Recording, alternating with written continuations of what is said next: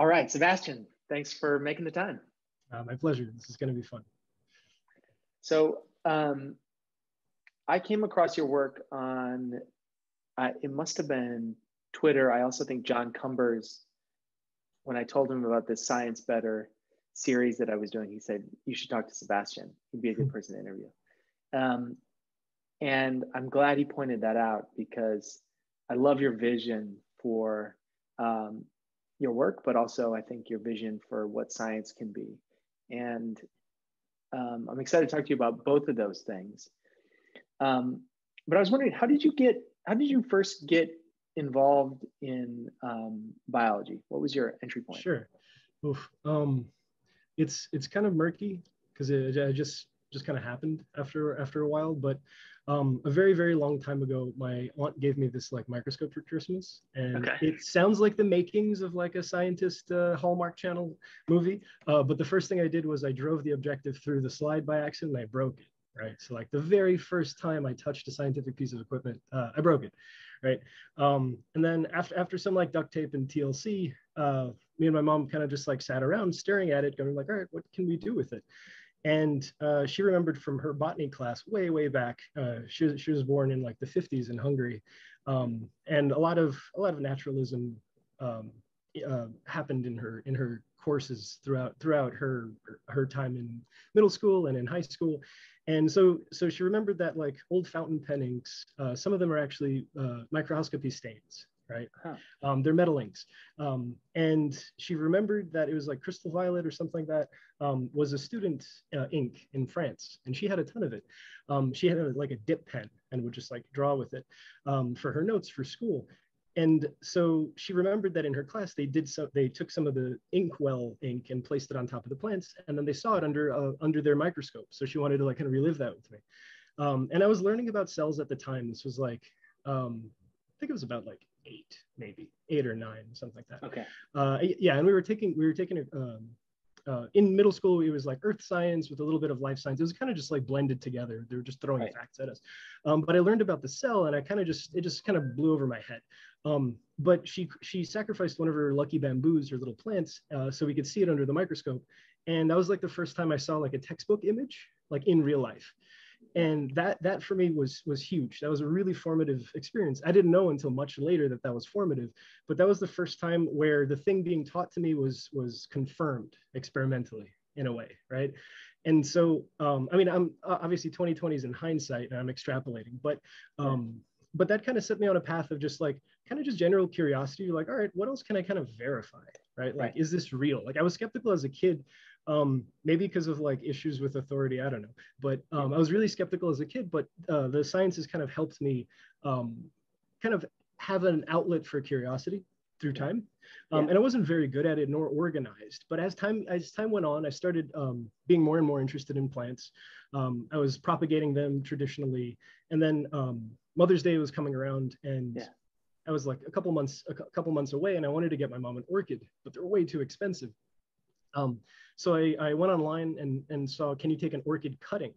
And I found this entire world of plant tissue culture hobbyists who would just like take seeds from different orchids and cross them. And there's just this like really um, robust community. And they shared their knowledge with me. Um, I read through their forums. Um, one of them was an old Usenet thing. I like learned how to BBS with it. It was cool. Um, but um, but but case in point, I, I, started getting a little bit more technical with, with my with my plant stuff, and uh, eventually I started like taking um, orchids that were thrown out, and like at Home Depot, one of the the, the uh, contractor stores here in the in the U.S., um, they would throw they throw out their like orchids every Wednesday, but different stores do it diff- differently. But every Wednesday they would just throw out the ones that weren't flowering. Okay. And so and so I would just like take them from the sidewalk and I'd bring them home and I'd put them under blue light and, and plant hormones and eventually force them to flower, right? Kind of like wonky. Um, and at one point I even like started selling to them, saying that they're like boutique orchids, but it was basically like taking their trash and repurposing it and selling it back, right? Wow. Um, which was uh, which was awesome. That that paid for a bit. Uh, put some money in my pocket and I started getting a little bit more advanced. But then once I got into uh, uh, once I, I, got into uh, university, I was able to um, stumble upon uh, plant genetic engineering, and that just like changed my entire perspective. Like it wasn't just take these two plants, cross them, and hope it works. There was like a bit of precision, a bit of intent, and from a, like a design perspective, from a make things with your hands perspective, um, that was huge. Like the idea of making new plants, especially right. flowers. Like I was obsessed right. with flowers. Um, and um, unfortunately like some family and financial things happened and i had to drop out but i wanted to continue my my studies. Mm-hmm. and so um, the small amount of time i spent in a, in a plant lab at my university kind of like gave me a rough perspective of what i need to do. And then going forward the next 10 years was like me hitting my head against the wall trying to make science happen right? Yeah. Because um, all this information was like really distributed and there's no like mm-hmm. how to for the amateur biologist really. That's right. you know? Yeah and so um, I became more literate, uh, like scientifically literate, and that uh, expanded my horizons a little bit more. Um, and then eventually, I got a, a, a, job, my first job at a plant, uh, um, uh a plant startup, making a self nitrogen fixing plant, an attempt to oh, do cool. so. Yeah, and uh, yeah, and we it was like eight months boot camp, but that I was like a scientist reborn because all the things that I kind of kind of vaguely understood now became very cemented in my head right? All the techniques necessary um, yeah. the the pressure of a deadline which which was right. which was important for me to kind of like learn how to work quickly. Um, all of those things kind of like shaped me to be more effective. But then after that after that job was done uh, because of my lack of a degree i'm like oh okay. Um, i can't get a life science job right? Because right. a lack of a bachelor's you you're automatically excluded. Even though you have physical physical skills that demonstrable skills and projects that you've worked on um, they don't really accept it so it became this like very uphill battle of just trying to make ends meet but also keep continuing my interest in, in biology. Okay. Um, and then and then uh, along the way my uh, research partner sung uh, he started this small nonprofit called binomica labs yeah. and um, invited me to do a collaboration with him. Uh, just a, an interesting side project that he was he was curious about and that eventually turned into like a very very long like six year now long collaboration with him. And we're going to publish uh, we're going to submit to bioRxiv soon. We got a new uh, bacterial genome that we just posted on genbank. Um, all as two degreeless heathens doing uh, biology from either uh, an artist studio or the third bedroom of some guy's apartment. Yeah. I love that. Yeah. And, well, so um, that's amazing. So so it's been um, this is it's similar to my experience where like because I, I was doing this for ocean science and ocean tech and we kind of came in through the side door you know like and it, it was always you know like not coming in through the kind of traditional path is like it makes it a lot harder but in that kind of also forces you to be resourceful and also yes, kind of exposes the blind spots of the existing system and like ways that it yeah. not um, necessarily serving as many people as it could. Um, mm. I, you know, just to like get, get a gauge on like your, you, the the timing of this. Do you like where were you when all this like DIY bio stuff was happening like six hmm. years, ten years um, ago? Like the the Gen so, Space was popping up and it was, you know, bio sure, curious. Sure. Um, so so my research partner is actually one of the co-founders of GenSpace. Oh, awesome! Uh, and I and I met him um, like this one like really rainy, I think it was summer, uh, and we we were talking about protoplasts and plant plant engineering, and he was the first person. Um, not not formally trained, but like uh, the first person that's not formally trained but had enough competence to like um, to explain molecular biology to me. And this was like the first time I had inter- interactions with like actual genetic engineering from a um, uh, uh, what's from a manual perspective right mm-hmm. so like we were we were um, like colleagues in the sense of training but he uh, he knew way more than me at that uh, um, uh, at that moment and i was just super intrigued i'm like wow a physical human being that's not a trained scientist uh, that i can learn from right mm-hmm. um, so the so I, I basically like lurked on the diy bio forum since like 2008 and then I think my first uh, email was like in 2012, and that's actually how Sung found me uh, was uh, having conversations through the DIY Bio Forum and saying like, hey, um, I'm interested in some plant stuff. I heard you do plant stuff. Let's do plant stuff. Cool. Mm-hmm. Um, and so and so yeah, and and, uh, uh and he got to see like from the very very beginning, like Jason Bobe, Mackenzie Cowell levels of DIY Bio beginnings, right? Like mm-hmm. the very beginnings. And um, and we had we had like long conversations, and we still do. Like every every couple months, we bring up the the concept of of how DIY Bio was, where it is now, um, what does it mean? Um, mm-hmm. My uh, both both of us have like a really kind of a we're, we're getting more and more disenchanted by the term biohacker because it was yeah, co-opted yeah, sure. by folks doing like publicity stunts essentially sure. um, and and yeah, and the part that was really missing was like, where was the where's the basic research? Where's the biology? Right? There's like DIY bio, but the bio stands for biology, not necessarily bioengineering, right? Mm-hmm. And so what was what was significantly missing from from my experience with DIY bio was just like who is doing research, right? And I, like I basically like asked around, is like, is anyone doing research? And like everyone's doing bioengineering projects, they're trying to answer and solve problems, and that's totally fine. But I was like really interested in in just like uh, growth habits of of random weeds in the city or like has anyone isolated uh, algae that people haven't seen before um, just like interesting curiosities that like have a scientific rigor attached to it not just like you know throw some gfp in there and watch it glow right mm-hmm. um, and that what like essentially one thing led to another and we decided is like okay let's um let's have a record of of amateur biologists in the modern day doing biology. You know we're definitely not the first and there's many people doing this concurrently. It's just like they're all over in the woodworks and we'd like to just like not like leave our mark but leave a record to point to to say like hey amateur biologists can contribute meaningfully to science. Mm-hmm. and so our first project was actually um, initially it was hunting for phages of Dinococcus radiophilus because to, to this date there have been no uh, phages reported in the species and anything that is alive has a viral component somewhere some mm-hmm. virus attacks it right and so um, uh, so Sung basically invited me saying like, hey, um, I want to look for phages. This thing hasn't been sequenced yet. Maybe we can we could be the first to sequence this. Nan uh, at this moment, Nanopore was like uh, coming into fruition. Uh, we were at like flow cell 9.4, so a couple years ago, about two two three years ago, and uh, and we said, okay, cool, it'll be a weekend project.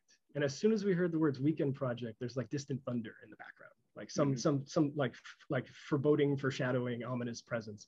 Um, and that weekend project turned into like a two and a half, almost three year endeavor of uh, isolating the DNA from it, uh, actually doing the sequencing, and then Sung did a, a, Herculean amount of bioinformatics necessary to polish from like 16% BUSCO all the way to like 98%, uh, right? With, with software. And we basically were teaching ourselves as we went, right? Um, which was the hardest part. Like the biggest learning curve was A, uh, familiarizing yourself with the Linux environment. He had way more experience than I did and then uh, installing all of those to all of those tools, which installing sounds silly that it'd be difficult, but it is not trivial. It's getting easier right. now with better code, but like that was an ordeal. And um, and I literally like as we were going out, I literally watched his uh, bioinformatics skills grow with every assembly that he generated. You know, and then along the along the way, uh, tried to teach me how to do it. And I'm still very much a novice in that practice. Like he's more of a bioinformatics wizard than I am, but um, but in doing so we literally saw knowledge being generated from nothing right like right. like pulling inferences right because because it wasn't just sequencing something we wanted to like have uh, we wanted to do biology and both of our interests coalesced with plasmids like wild plasmids how do how do plasmids get maintained for millions of years how do they get swapped where did they come from mm-hmm. and if there are plasmids in uh, Deinococcus, which we proved there are um, bioinformatically, the, then maybe those came from phages, right? So our first initial assumption was like prophage origin. Like maybe there's hints that there's some replication machinery that phages also share that are only on these plasmids in Deinococcus, right? So this like turned into this like uh, this expansive narrative that we're still chiseling away, but we have uh, a pretty polished um, draft essentially that'll be on bioRxiv and hopefully we'll get feedback for. Um, but that was like the first big actual research project where like there's no hand holding, nobody knew how to crack these damn cells. Um, and then like us doing nanopore with no technical experience um, was was a challenge in and of itself, right? And I mean that that was also an incredibly formative experience. So yeah. I had the the um, uh, biotech entrepreneurship experience where I was like the solo tech of this startup company where my boss was like flying around and he's like, put these genes in a plant, go. Uh, yeah. I gotta I gotta find money, right? So I had that experience. Then I had a slightly academic experience of producing like actual research, um, and then at the same time I was I was really considering like okay I'm polishing my skills enough to kind of get uh, mildly eloquent with plant with plant genetics, and so I said all right you know what let me try let me try to pursue something I've always wanted to in the back of my mind but never really had the courage to, which yeah. is to be a to be a flower designer right? To be a molecular florist, right? Like, can you generate new flowers, like different phenotypes for purely for aesthetic purposes? If we generate some science and we find out um, uh, more floral developmental biology along the way, awesome. But like honestly, just as a as an artistic pursuit, can genetic engineering be an artistic pursuit? Can biological research be a hobby? Those are like the two very big, big um, umbrella questions that we have for for our practice. And along the way make it accessible and cheap. Because like the the the core uh, philosophy of our of our organization essentially is called two cups and a string which is essentially what biology can you do with trash with the with the world around you with your hands and maybe just some like high precision engineered garbage mm-hmm. right? Um, so like uh, over the years, I flipped equipment off eBay, uh, fixed it and sold it, kept the best parts for myself, and then used the fancy equipment to validate the handmade tools um, and to show that basically they're comparable. And then distribute those tools for free or at cost of production. Yeah. So like the, So what are the, what are some examples of those tools? Sure. Um, so spinning behind me is a little tube tumbler, really simple one. Um, yeah. it, it's at an axis uh, 45 degrees across both axes. So it actually okay. does a rocking motion without changing its its movement right? So it's basically okay. a yep. tube rocker, but it's rotating. That was a super simple build. Um, the the most um, the most promising one is actually these little mini specs. So there's these. Um, I stared at an, a spectrometer for a long time, and I'm just like, okay, if we're doing bacterial stuff, we need to read at 600 nanometers. Um, why do I need the full wavelength, the full uh, spectrum, right? Why do I need to pay thousand dollars to read a single orange light? And yeah. so I found I found a 600 nanometer LED, a really nice light sensor, and basically developed around these 15 milli, these 15 milliliter tubes that are clear that allows you to to shake and read the bacteria at the same time, right? Without taking samples. So you can take a growth curve measurement every second uh, ad nauseum, right? And we have some growth curves uh, in minimal media and other media that's like a month long, right? So 86,000 data points per day times 30, right? Um, and by looking at it second by second, which people thought was like kind of overkill, um, we actually see nuanced, um, uh, not anomalies, but nuanced features within the growth curve that um, haven't been described, right? Or have been published as, as plotted data, but have never been addressed, right. right? And at first we thought it was noise, but like the amount of data that we've generated and the reproducibility of it essentially showed that um, these aren't, these blips are actually there, right? Mm-hmm. And it's a function of the media, right? You can like stretch and move the blips around, and um, that ended up in a rabbit hole of figuring out how M9 minimal minimal media was formed, like who was the first person to do it, because everyone points to Jeffrey Miller's 1972 book, but in the book, the M9 minimal media is one of the few recipes that have no referenced footnote, and he didn't invent it right? So so we, we did this like whole literature review for like two years on and yeah. off, just trying to find it. And eventually we found it from like a 1948 paper, not not named M9, but the exact same recipe, right? So like it's still kind of it's still kind of open, but um, that gave me a good experience of how uh, how interesting and useful review articles are. Okay. And that might be one of the first uh, the papers that I want to publish for my informal PhD, which I'll explain in a bit. Yeah. Um, but uh, yeah, but essentially like doing historical lit review and then recreating some of those old experiments with modern tools as a means of mm-hmm. educating people about biotech, right? Yeah, yeah, yeah. Yeah, so like a multi-pronged approach where not everything needs to be engineered, right? There's also yeah. like ways in which you can just take public data and there's treasure troves of there's we generate more data than we analyze.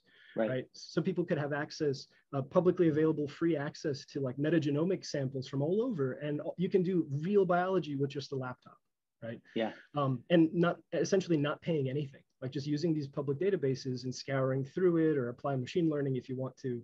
Um, but yeah, so we basically want to highlight um, all the different ways in which you can make small, thoughtful science. I love it. I love it. And so do you are, and this is all on your GitHub page right now. Um, yeah, so mostly. yeah, so we have we have uh, our bionomicalabs.org uh, yeah. webpage. Um, my um, my day-to-day progress is in my open lab notebook, which is linked yeah. on all my social media. Um, yeah. And then all the main code and hardware stuff goes on the GitHub. Yeah. yeah. Okay, cool. Awesome. So um, tell me about the informal PhD. Okay. Um, so I have tried, I've, I've tried so hard um, to get back into academics, right? And um, along the way, I befriended a whole bunch of professors. I, I, I, did collaborations with them, formal and informal. And uh, in doing so, I built up enough rapport that they could actually get a good character assessment, right? So they wrote some really badass letters of recommendation so I can apply to like a local school around here. Yeah. And uh, because of the family and financial reasons, my GPA took a huge plunge right at the, uh, the, the, second to last semester, uh, which forced me to drop out. And because of that, my GPA was 0.01 points below the absolute cutoff for oh, considerations. No. So, so they wouldn't even read uh, recommendation letters, even though I had them from like from like Harvard and Cooper Union and MIT. Um, uh, it didn't matter, right? So that felt like an unnecessary uphill battle where I'm just like, okay, um, that really sucks. I can't really get a job, so I might as well put on my entrepreneur hat and not develop a product, but offer a service, right? right. So I would do consultation and startup uh, bootstrapping for biotech companies, especially like IndieBio folks. Yeah. Um, like um, my consultation led me to be CSO uh, for a while for uh, Microsymbiotics, the algal salmon vaccine company. Oh, um, oh, cool. Not too long ago, they raised a couple million. Um, that was pretty cool. Uh, I mentored the Werewolf team, uh, which made uh, fluorescent protein, um, uh, what's it called, threaded fluorescent protein fa- uh, fabrics, mm-hmm. essentially making biomaterial out of fluorescent proteins. And they yeah. won this like H&M grand prize, and now they got this like global patent on it. It's it, it's it was, it was incredibly um, like uh, again formative and and and really like honed my my craft a little more. But regardless of all these uh, all these whatever minor achievements no school would consider it. Mm-hmm. so um, i decided you know what? Um, screw it. Let me try to do my flowers for everyone project as a phd thesis and kind of go through the motions. Mm-hmm. and um, a couple of my professor friends on twitter said um, you know what? Why not let, let's let's humor this. Let's actually let's actually do it. We'll go through the motions. We'll have a defense. We'll have a committee. Um, you know, six papers and your thesis, right? and so um, I'm starting to do it, right? Regardless of like academic credit or whatever I just said, I want to be a better biologist.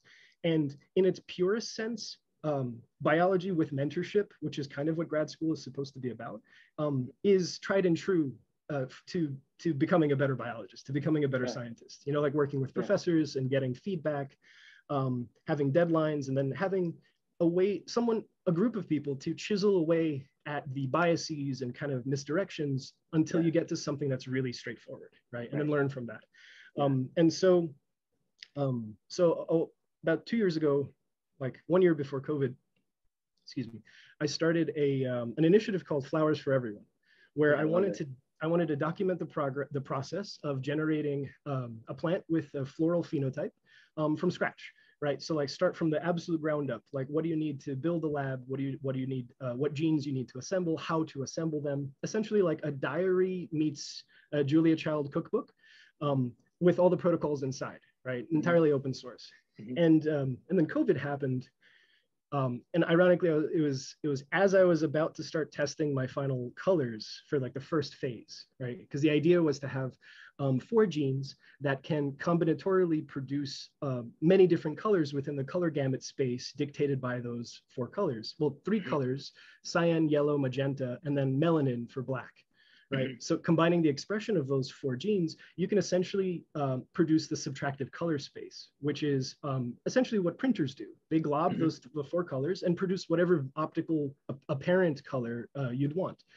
And so having students generate synthetic promoters that can like nuancely tune the amount of expression to produce whatever colors they want, and then di- uh, direct those colors to petals so students can make their own flowers is um, essentially the, the, the overarching goal, right? Mm-hmm. Um, and I was about to test those, then COVID happened. I got COVID. I blew out my back. I got COVID again.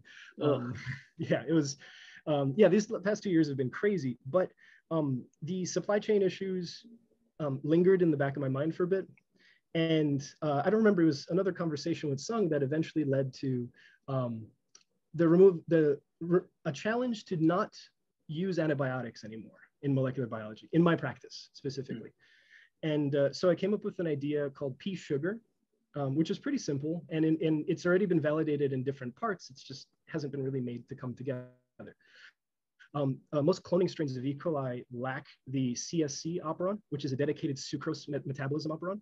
And there's two genes, CSCA, which is a an invertase that breaks sucrose into glucose and fructose, mm-hmm. and then CSCB, which is a permease that allows the sucrose to come into the cell. Okay. Um, if your cell lacks those, um, it can't eat sucrose. So if you have a minimal media where the only carbon source is sucrose, they'll starve to death. They physically don't have the machinery. Now, other strains of E. coli do have these genes. And uh, Claudia Vickers in 2014 uh, published a paper on sucrose utilization in E. coli, or um, heterologous sucrose utilization in strains that don't have those genes. Um, and then an iGEM team in 2017 uh, tried, uh, tried what my idea is now, uh, but reported that they couldn't generate clones when they removed the, the antibiotic selection genes and replaced them with those sucrose genes. Um, so the, so and and I tried it and it worked initially. I saw colonies on the sucrose plate um, um, that are positive for those genes, and no colonies on the ones that don't carry those genes.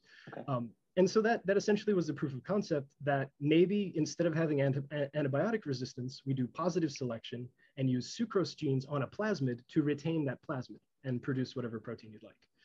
Um, also, um, antibiotics in the US are easy to come by. You can just order them and they'll ship to you. In many other countries, they're A, frontline antibiotics, and B, you need a prescription or they're highly regulated. Got so it. we, yeah, so you essentially um, inadvertently gatekeep a, a large um, portion of students that don't have access to hazmat disposal or their schools are low uh, low budget so they don't have access to um, the materials themselves. And right. cold chain is expensive right? Having a, a, a, dedicated fridge for your classroom is a rare thing right? Yeah. so um, sucrose is stable at room temperature. And so this makes sense as just like an accessible educational tool. But also as a um, uh, as a means for amateur biologists to explore too, because I'm, right. I'm not forgetting my roots because I still very much am an amateur biologist. And right. so I want to build tools for my community to allow more people to do biology and not circumvent regulations, but basically remove the things that are uh, that are worrisome, right? right. Like an antibiotic um, uh, antibiotic microbial resistance genes. Those, right. uh, those are a huge topic of study, right? And a huge concern. Many of nosocomial infections, people dying from nosocomial infections today um, had great therapies not 10 years ago for the same bacteria, you know? But right. because of all of this uh, overuse of antibiotics and the presence in, in uh, livestock utilization, um, it's caused a huge problem. And though minor, I don't want to have folks doing amateur biology contribute to that problem, right? Especially if this is exploratory yeah sure. so the whole the, the whole idea is can you do uh, gene cloning in e coli uh, with just sugar, no antibiotics, then can you maintain and transform agrobacterium, the main vehicle for plant engineering, using sugar as well? And then ultimately, can you select plants using a different kind of sugar, mannose, right? So all of these, except for the agrobacterium, the E. coli and the, uh, the plant side have been confirmed to work with their respective genes and there's pressure for those. Um, so bridging everything together, you can have an end-to-end plant genetic engineering pipeline with full genetic assembly and all the tools necessary without ever needing herbicides or antibiotics. Wow.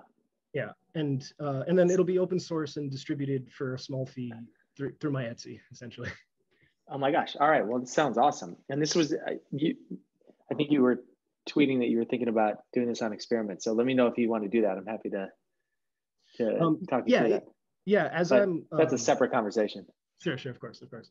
Uh, yeah, like as I'm fleshing this out, because um, I'm building the railroad track as I'm going, right? Yeah, and I'm trying to sure. I'm trying to go as slow as possible to try to um, really like zoom out and fill in the literature gaps I have, because you know, okay. um, sucrose, I mean, sugar metabolism in bacteria have been so well studied, right? Like the yeah. lac operon that won Monod his Nobel Prize. Um, the uh, that whole system is well understood, and it's just a sister chain to the overall hexose metabolism pathway. Um, right. So I have a lot, a lot of catching up to do and a lot of classical microbiology that I don't want to put my foot in my mouth. So I really need to catch up before I say stuff. Um, but, but, yeah, but it I mean, seems like that's how you learn. And that's actually how I learn is like, it took me, I, I wrote this book, Zero to Maker. It was like my attempt to get involved with the maker movement.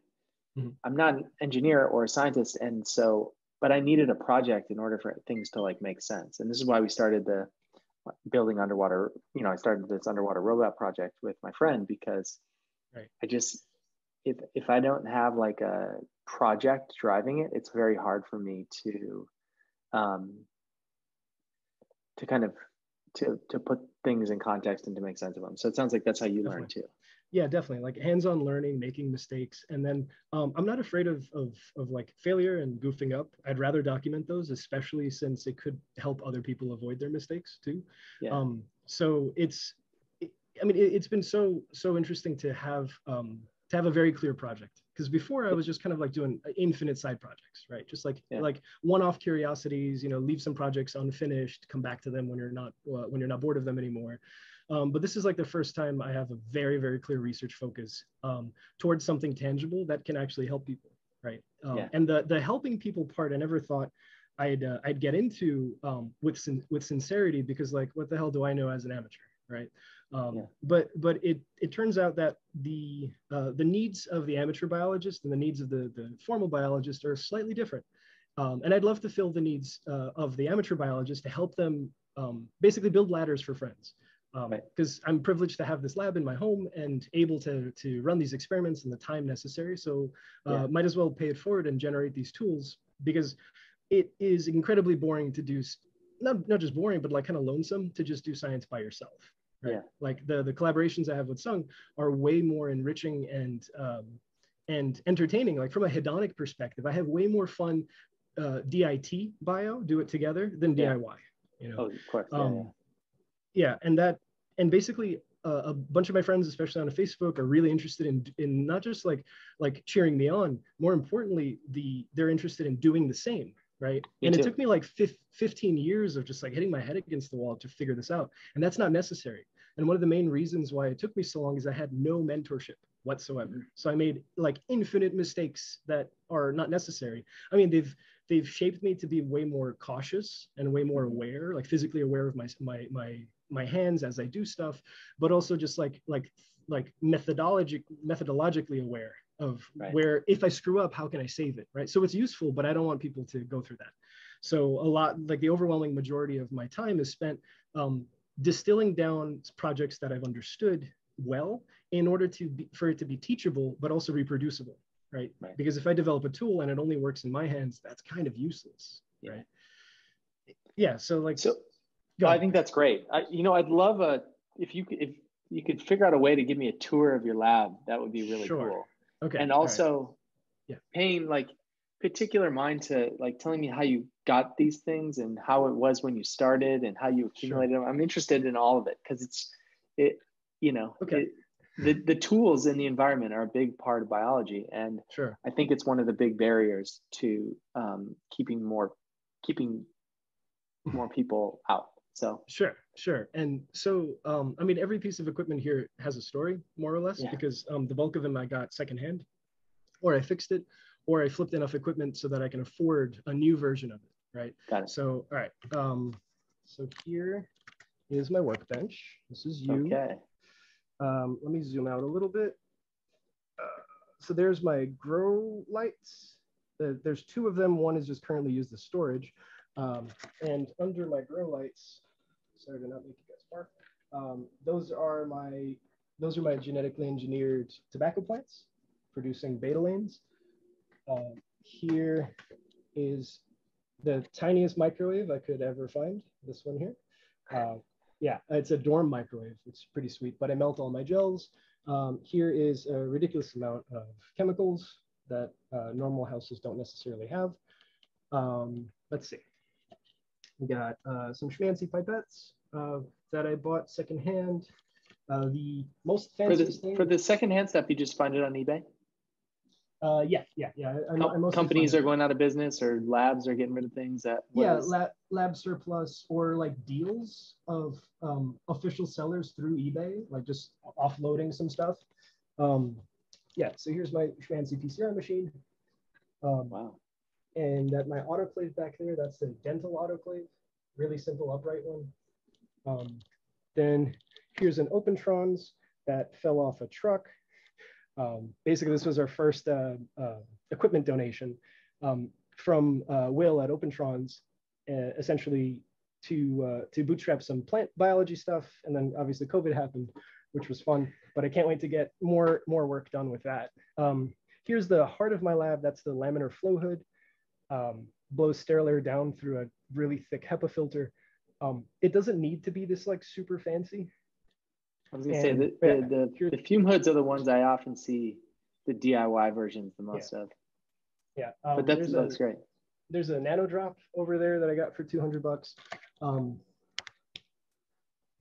yeah, I wish this had a better field of view so you can just get a, a full shot. But um, essentially, it's everything necessary to do uh, plant molecular biology.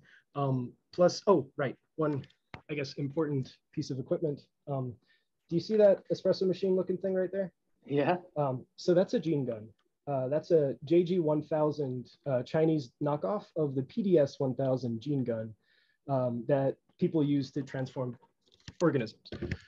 Um, as soon as the Biorad patent came out, um, a gene gun is essentially just uh, gold, uh, DNA tied to gold and then shotgunned through a vacuum to yeah. onto tissue, especially plant tissue. right? And as soon if the cells, um, I mean, if the if the particle ruptures some DNA and makes double strand stranded breaks, there's free floating linear DNA hanging out, and there's this very very very low probability that they'll actually uh, uh, recombine, yep. right? Um, and so that'll allow me to transform any tissue, and that's actually been my bread and butter. It's paid it for itself like three times over already, because uh, I do consultation work, especially for biolistics. Um, since very few people have this uh, device, and also the amount of experiments that are being offered by uh, essentially like outsourcing competitors competitors mm-hmm. um, i undercut them by like an order of magnitude because i'm mm-hmm. still learning with the device so just mm-hmm. like you send me dna i'll give you back 10 plants as long as you pay for the aphis permit to allow it to cross state lines got it um, yeah so keeping everything legit following the nih guidelines for a bsl1 lab um, all my waste is autoclaved um, i generate no hazmat that can't be autoclaved i don't work with harsh chemicals um, uh, partly because I don't have a fume hood, so it's not safe to do so. Yeah. And then, um, yeah, no, nothing that's GMO leaves my lab without a permit and proper containment. Yeah, so like the windows are shut here all the time, um, and I'm pretty damn hygienic about how I how I treat the uh, genetically engineered material as well. Got it. Um, yeah, because I'm already in this like gray area where there's no law that says I can, I can or can't do what I'm doing, right? Yeah. So uh, while that law remains gray, I'd rather just follow the NIH guidelines and yeah. and and you know do it to code because I also live in an, an apartment building with people around. Um, yeah. But uh, yeah, but your landlord people, has your what does your landlord say? Yeah, no, no, he really likes it. No, he, he thinks it's super it's super interesting, and uh, his son's really into it too. Uh, some of my neighbors down the hall. Um, um, what you call it? One of them was like having some difficulties with science stuff, and I'm just like, oh, let me show you some science, uh, and then they get super excited. And uh, yeah, I mean, it's it's it's an interesting, um, like kind of a momentary niche. Like I don't know how long this will last. So in order to ensure that, do you mean that for you, or do you mean that for this um, this for this the way this this this um un, this like semi-regulated kind of gray space for biosafety level one stuff. Um, in the way because like it varies state to state and the laws aren't super clear. There's no penal code for a lot of it. So it's mostly for people who take grants. Like your grants are threatened if you violate these nih guidelines. Um, i don't take grants but i also don't violate the nih guidelines right? Mm-hmm, mm-hmm. Um, so yeah basically i try i try to um, to ensure that that if I teach something, it's as safe as humanly possible within this like gray area, and also making extra consideration for what an amateur space might be right? Yeah. Because I want people to do GFP coli. I want people to make a Ruby tobacco um, because it's it's a it's educational and b a lot of our educational infrastructure is severely lacking hands-on lab stuff, right? Mm-hmm. And if the difference between like having biotech experience before getting into college and not is your parents' income, uh, we have a problem right? Mm-hmm. So so developing these tools, um, hoping hoping with uh, with Binomica to to start having conversations with educators and seeing if there's ways to incorporate uh, super low budget uh, actual hands-on biotech stuff um, that isn't you know price gouged or isn't like hyper restrictive because it's using some exotic antibiotic or things right. like that. Yeah. Right. Right. Um, yeah so our main focus is, is having conversations with educators but i'd like this to be a self you know an autodidactic process as well. If somebody yeah. wants to learn and they're in an environment that uh, they're resource strapped you know like what biology can you do right? And so I have a bunch of students from like essentially all over the world, um, like doing small microbiology experiments or doing stuff for their class. And we have meetups every Tuesday night through my Petal Smiths group on Facebook. Um, basically, I'm just trying to grow friends. I'm trying to grow people to have the, the, the, the competence necessary to, so they can design their own flowers. And then just one day in like 2063, have this like really awesome flower symposium of a bunch of amateurs coming together and just like showing their cool stuff. Yeah. Like, I love that. Yeah. Like uh, ideally like maybe on a train. That would be awesome. Like imagine the orient express but across the states and that your conference yeah. is on a train. Yeah. Um, yeah so so sung and i's got got a lot of uh, of, of ideas of how to make this uh, like larger but again our main focus is small thoughtful science and we want to lead by example. So before we say anybody can do science um, where is our science right? And yeah. hopefully and hopefully very soon it'll be up on bioRxiv we'll have a doi number. That'll be archived essentially forever um, yeah. And then after feedback, hoping to go into a formal journal, right? And the entire thing is single nanopore flow cell of Deinococcus radiophilus. Um, we're exploring some of the plasmid stuff there, but the final thing is an amateur research perspective, right? Um, and that'll be formally part of our title of the of the of the paper, right? So it's it's very very specific that we have no experience, and this is a record of our of our experience doing this from scratch. Mm-hmm. Mm-hmm. Um, and then basically laying down the groundwork for other people who might want to do something similar or or essentially a hub of laboratory notebooks so that at the end of the at end of the year we can be like here's all the people doing really interesting amateur biology in case anybody has the really dumb um, uh, misconception or preconception that citizen science and amateur biology have no space in formal academics right mm-hmm. i think we can meaningfully contribute like significantly because there's way more questions than there are grantable uh, uh, like uh, like that there are funding bodies to offer grants to mm-hmm. right there's i mean there's you know 86% of all eukaryotes on the planet have yet to be discovered right mm-hmm. so uh, ample room for for us to be part of the conversation absolutely and and it also you know there's two kind of definitions of amateur one is the the the one popular in the united states which is like second class or not professional and then the french term which is the lover of people who yeah. do things not just for money they do it yep. because they're passionate about it and um, I've tried to make the argument um, that the amateur science is is is good for a lot of reasons. Like one is it gets gets more people involved, but I actually think science would be better off if it had a better amateur orientation. And what I mean by that is the in like pop like you always hear scientists talking about the public. They're like, oh, the, here's the science, and then we need to talk about the public. And I think that's a really like um, I don't know that that language really helps. I I think you know like the NBA doesn't play basketball for the public. They play basketball for their fans, and the orientation of the game is towards people who love it. Right. And and the same is true for films and and and music. It's it, they make it for the fans, the people who love the thing. Mm-hmm. And I I'm actually not convinced that science shouldn't also be for the fans. Like for sure. the people who love science sure. instead of yeah. for the public, like the yeah. lowest common denominator. Definitely, definitely, and I, and I think there's a lot of um, of missed opportunities. Um, like like the way citizen science spawned out of academia as more of like how can we offload effort onto people who want to participate mm-hmm. that part- participatory science that also kind of grinds my gears because um, you can't call it science if the people participating don't have a say if they, they hmm. don't they don't they don't generate hypotheses they don't test experiments they're, they're doing data crunching. And while that's very important and many many teams have dedicated data crunchers they have like people who just do figures and i get that i totally get that. I watch formula one i know that the guy with the with the uh, with the wrench gun is the is the person who only does the wrench gun stuff. I get it. But um yeah but but there's this like uh th- there's this missed opportunity in that um, you can generate small questions right? That maybe ha- people haven't considered yet. Or you can generate basically any knowledge is good knowledge. You can generate that and polish it.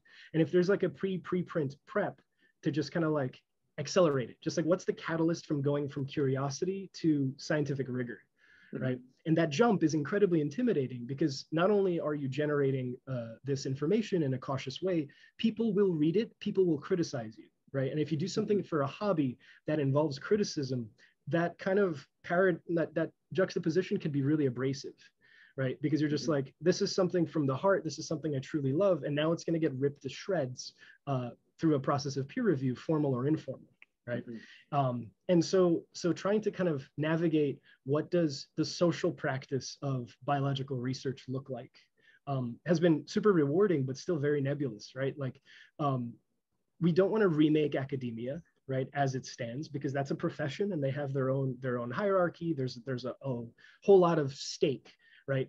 A whole lot of skin in the game. And so for folks who want to do this for fun how do we do long form science? Instead of publish or perish like maybe you'll do one formal publication in your entire life but it's a life's worth of work right? Like it's it's it's your uh, contribution to the world as a as a book right of all the things you've done. Um, that could be meaningful in and of itself, right? And if applied with some rigor and, and some reproduction, especially, um, you have the makings of, of, of very undeniable proof that amateur biology is not second class biology. It's not just for fun, right? It's for fun, but the byproduct is generated knowledge that can be utilized. Um, so yeah, so so there there's um there's a lot I'm thankful that people have missed missed these opportunities because that leaves niches for my nonprofit to to be relevant and not be hyper competitive with other nonprofits who are trying to like you know commandeer the the the educational materials market right? Mm-hmm. like we're not trying to generate materials we're trying to ge- generate people who generate knowledge yeah right? totally. So like the and it's software- the reason that i'm attracted to the project right? Like it's like the, the way you've defined the flowers for everyone it's, it's something that i read about and you know i'm in seattle and i'm you know halfway across the country. And i i can see the pic the big the vision and the love and the the interest and the the care that you've put into that. And it's not like if it was just like an educational product i'd be like okay cool. But i wouldn't i wouldn't actually personally be hmm. like a, a you know the attracted to it. So um uh, so i'm sorry for interrupting. I think uh i think it's a i think it's a good i think it's an important vision and um I think you're right to point out a few things. One is the the kind of citizen science kind of being co-opted by the academy like the the researchers who just saw this opportunity to gather a bunch of data and also the the you know i don't have anything against the biohackers like you know but i also think like it t- took the narrative in a direction that i don't think is um, pos- is like necessarily positive, um, and productive. And I also think um, the great, the best part about these amateur scenes is when they start to build momentum. They become, they actually drive the, they can steer the ship in terms of where the technology is headed and you know like computer science is a really good example and like you know personal computers I, I spoke recently with Michael Schrage, who wrote this wonderful um, essay for Make magazine called Kits and Revolutions. And it's about like how uh, technological revolutions and scientific revolutions have this like common theme of this kit building phase. And I think that's something that comes out of um, these amateur scenes more often than not. And um, they can be incredibly generative and actually wind up really steering fields. So um, you know, I don't, I, I think it's, um, I love the, the idealism and that you have, and I, I, I share it, but I also think it's like worth keeping an eye at, uh, the, on the outsiders because there's, there's really important work to be done there. It's not just like filling in gaps. Like there's, there's really important stuff that can be found. Hmm. Yeah. The, um, the, the aspect of, of outsiders and uh, academia. Like like science Twitter has really opened my eyes as to how academics kind of interact on a on an informal level, right? Mm-hmm. Like there's just like some interesting patterns. Like sure, there's professionalism, but there's also like a lot of human like humanness right? A lot of like drama and like silly stuff but also um, also a lot of significant concerns. And a lot of concerns that i don't think the general public for lack of better words is acutely aware of right?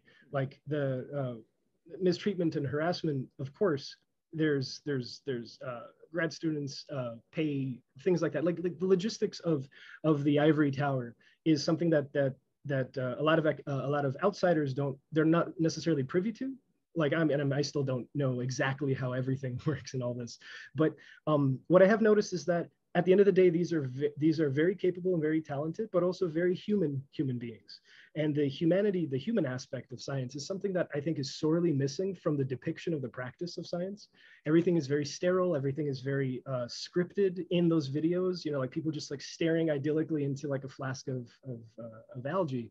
Um, and I get that, I get the PR, but that just like, it seems so dated because it's not, it's not um, that we've, I mean, we have grown in cynicism, but we've also grown in like a need for realism right? Because everything is mass manufactured and very, very uh, like person like the personalized ads phenomenon have really made people very cynical and mm-hmm. so when you when you're sold as a student as to what a career in the sciences looks like um, it's it's sometimes it's it's very rare to have real talk with with professional scientists and be like what does a career like like that look like and because i've been like essentially pushed away from that potential career path temp, i guess temp, hopefully temporarily um, i try to not focus at all on it being a career right like when mm-hmm. people when people approach me for for uh, amateur bio questions or how do I start, the first thing that I frame is that like this is not to get you a job. This isn't going to look great on a CV, right? Like this, this, this is for you. Do you want to do this? Like you pick up woodworking not so you can get into a better woodworking college, you know? Like you pick it up because you like you like friggin' woodworking, right? Mm-hmm. Um, and so uh, and oftentimes they get a lot of pushback and some friction because they can't fathom scientific research as a hobby, right? And these are folks asking, how do I start? Which was kind of masquerading under uh, masquerading under how do I start was really how do I make a startup? How do I make money off of this? Mm-hmm. And um, my my critical gripe with this is that if you just play basketball for fun, no one there's pressuring you to go get an NBA contract. Mm-hmm. You know, like very few people who actually play bas- play basketball actually think they're good enough for the NBA to begin with, but also that's not even on their mind. They just like the sport. You're a fan mm-hmm. of the mm-hmm. sport, you also like playing it. I'm a fan of science, I also like playing it. You know, like I also like doing the science. I like generating mm-hmm. knowledge. I like helping biologists out. Um, it's a very unique high to go from um, how the hell does any of this work to I've helped out several uh, formal biologists to do actual real world stuff, mm-hmm. right? And felt like, not necessarily as equals, but at least as colleagues which mm-hmm. was something I never thought possible. And if it's possible for me, I'm pretty sure it's possible for a lot of other people. And mm-hmm. this way, instead of the participatory aspect, you put the onus of responsibility kind of in the midway point, right? Mm-hmm. Because participatory science requires very little effort from the participant and a lot of effort from the organizers to make a sandbox where the mm-hmm. data is relevant, but also mistakes are okay, right? Like there's not a lot of pressure. Um, I think while that's important and a good step, I think the lack of uh, of any forward momentum from that point? Like, how do you go from participatory scientist to actual scientist, mm-hmm. right? That bridge is not defined because typically people say, go to school. It's like, of course, by all means, if you want a career in the sciences, please go to school and stay in mm-hmm. school. It's mm-hmm. awful out here um, without a degree. Like, it's so mm-hmm. cold without a degree.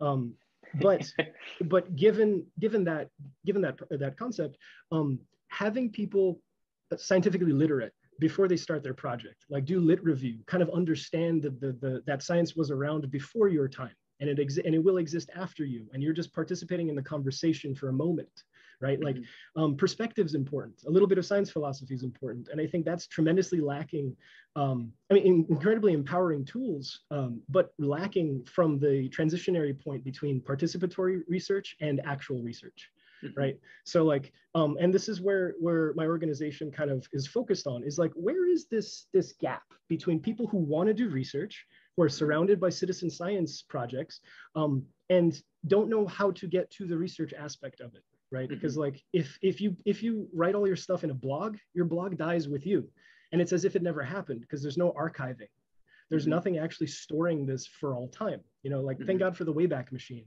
but even then um, and that's why pushing towards publication, especially now that things like bioRxiv exist, which is free, right? They look mm-hmm. like, does this look like a sane manuscript of something? Cool. All right, it's on bioRxiv, right? Mm-hmm. Like the, um, the, the initial vetting is lower because the whole point is it's a preprint, right? Mm-hmm. So embracing the preprint as a potential place where, um, that's a lot of P's, um, where uh, amateur biology can thrive, where you get actual feedback from real biologists who are going like, try this hypothesis, or how about this? You know, like if people can doom scroll on Twitter, they can probably doom scroll on bioRxiv mm-hmm. on a mm-hmm. section for amateur biology, you know, mm-hmm. and not in the sense of like, oh, this is second rate, but more of just like, we're really looking for constructive criticism.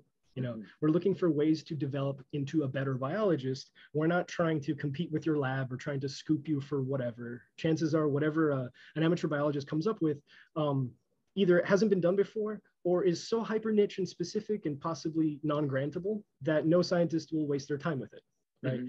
And so like there's so many op- like questions that remain open and unanswered because the hot topic du jour that's grantable is no longer this, you know. Mm-hmm. So like revisiting old papers that's that's i love doing that. Like um, i made the minispec system so i can revisit jacques monod's phd thesis from 1942 so like while he was shooting nazis during the day he was spinning poop bacteria to try to understand how it grows right? Um, and notice that if you use two different uh, sugars you get two growth curves, right? You measure every hour and you get a curve. But if you if you use two different, two specific kinds of sugars, it, it uses the first one first and then the mm-hmm. second one. So you have two growth curves, and you have a mm. you have a measurable biological phenomena which is directly coupled with what you put in, right? Mm-hmm. Which and so like behind me, you see these like little bottles over here. Um, those are, it's a media library of just like little steps of calcium and magnesium and, and different salts and doing growth curves to try to kind of get a feel for what's going on. Right? right. All the while replicating his like seminal PhD thesis, which everyone cites, but not everyone speaks French. So how did you read it? Hmm. Uh, uh, yeah, so I was like trying to teach myself reading French uh, to just be able to uh, to kind of parse it so I can replicate it, right? And yeah. and that and it's it's so exciting to like take essentially um, not to glorify Nobel Prize, but uh, Nobel Prize winning work and be mm-hmm. able to replicate it um, for for pennies, right? With modern tech like Arduino's and some electronics, like the electrical en- uh, engineering side of of the maker movement has been the biggest benefit to everyone, and I'm I'm so mad that people don't recognize it for, for so uh, underrated. It really so is underrated. because you can learn to be to be competent in electrical engineering to do PCB design in like a year's time of auto free autodidactic learning you know mm-hmm. just like you could teach yourself to do really amazing stuff. And you know like uh, one of my heroes dave jones from the EEVblog um, i like cut my teeth on his videos. You know like i taught myself how to do electrical engineering through his videos and then through his forum right? So there's like there's this like really um, welcoming and embracing community of electrical engineer, like veterans in the trenches doing fundamental Fridays going, what is a capacitor? They don't have to, but they want to do this, you know, and there's like, there's such a, there's such a thriving community of like mutual education. But when it comes to biological research, there's, there's so much impediment, right? And a lot of them are, are like regulations for good reason, but then right. there, there are also um, caveats like, does everything need to be this expensive? Do we need all of this fancy equipment? Like there's this conflation that molecular biology requires crazy equipment. I mean, how did we do molecular biology like 50 years ago, you know, mm-hmm. or even 100 years ago, right? And it's not like, oh, those questions were answered. I'm like, you sure? Because those yeah. questions were answered in the models that, well, that what uh, what was then now have become models, but those are in the models. What if you like you know, stick your leg out into the boon into the boonies a little bit and grab a microbe that is semi-domesticated, safe, mm-hmm. you know, within BSL-1, not a human pathogen, but um, no one's really messed with it. Or like uh, the more controversial thing is to to go out and find microbes, right? Yeah.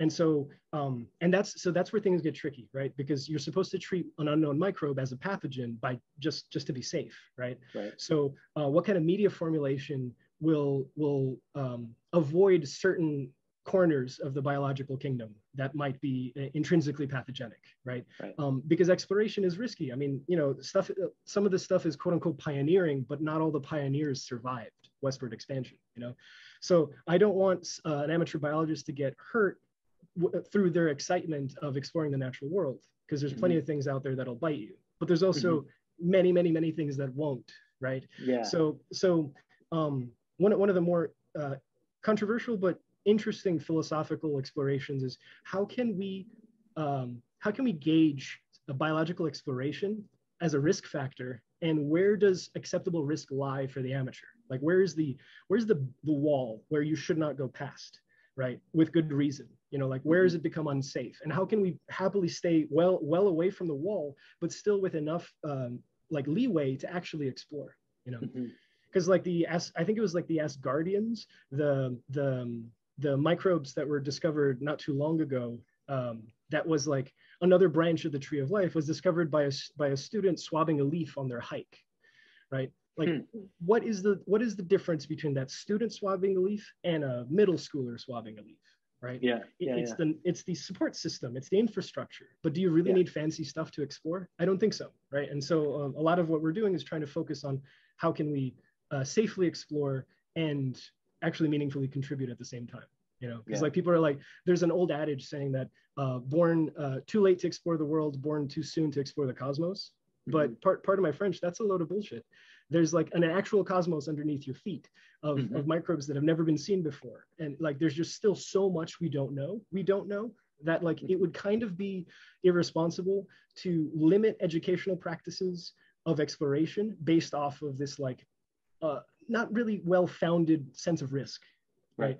Like people eat bread and then it's kind of moldy, right? And some people yeah. have lost their face to bread mold. Other people have not, right? Yeah. Um, we have super dangerous chemicals underneath our sink, right? Things that if you mix poorly will generate chlorine gas and you'll die, right? Yeah, yeah. So, so we have acceptable risks, but for some reason we have a cultural preconception that biology, which is aiming towards like the sterile compartmentalization of these living organisms is somehow inherently more risky because you have more control. What? Yeah. Like that, that part that, that part didn't really resonate um, well with me and I always found that curious. Yeah. So basically framing it as saying like there are dangerous things in your home yes let's not dwell on that and let's just do good laboratory practices mm-hmm. right let's be safe let's treat things with as much care as we can but more importantly yeah. treat things with respect right. I think mi- microbiological respect is probably one thing that i would love to to to like drive the message home into like fellow amateur biologists is that we should have respect for the natural world not fear or or, or reckless abandon but respect. And yeah. somewhere in there is like a sandbox we can play in. Absolutely. I think that's like the you know the other than some like high profile like biohacker stunts like i think what you'll see is that it's a profoundly responsible community. And I think sure. there's been like nature opinions about this. Like you want to talk about ethics, let's you know talk to the community biologists because they're they're way ahead on this um, because they do interface with people and they've been thinking and we also about have, this. Yeah, and we have a lot to lose too a tremendous right, exactly. amount of Yeah, it's well if put. one person messes it up and there's a uh, there's a career politician that wants to like make make a name for themselves by regulating this, um, there's very little we can stop that we yeah. can do to stop this. You know, if we gang to, gang up together and like form a formal petition and stuff, we don't have enough pull. That's why I think showcasing that amateur biology is, is worthwhile and worth considering to formal academics could be helpful because that could yeah. be uh, a, professional vouching of going to like, yeah. yeah, this makes sense. Hey, this is this this is intrinsically or this is safe enough, yeah. or this is worth pursuing. You know, there, there's um, no DIY bio lobby yeah and i don't think there should be because it's such a it's such a personal exploration it's such a per- yeah. for me like this this yeah. pardon the romantics but like yeah yeah um like like chilling in my lab at like three in the morning by myself just doing stuff um uh, there's something really meditative about it but also highly personal like hobbies mm-hmm. are so so deeply personal and to like make it political um something where the entire world is politicized hopefully hopefully finding a refuge in in this aspect of science because science is political right especially right. formal science is political totally. for sure um, and this act of of enabling others could be seen as a form of activism sure yeah but I don't want to frame it as like stick it to the man or fuck the system, pardon my French. Um, but there's, but rather than like, there's an entire world to explore and we're too busy like complaining about stuff on Twitter, right? Yeah, like, yeah and, and just like frame frame it through a different lens where that lens is is excited optimism rather than just like doom saying that like yeah. you shouldn't do this because you'll make a BSL4 critter. Yeah, yeah. You know? Yeah. Yeah. Well, that's awesome. I, look, look, you've been really generous with your time and your ideas, and um, I, I, hope this is just the beginning. I hope we get to to keep having this conversation and, and following along with your work.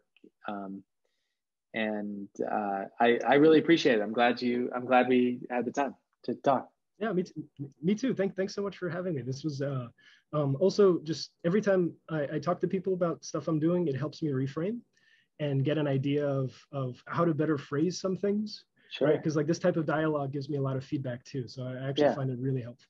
So yeah, absolutely. I think I think that's the thing that um, that, I mean that's the reason I'm doing this whole podcast is not I don't have zillions of followers you know it's it's for the conversations and to build the relationships sure. with folks um well cool let's do it again yeah definitely definitely thanks so much Dave.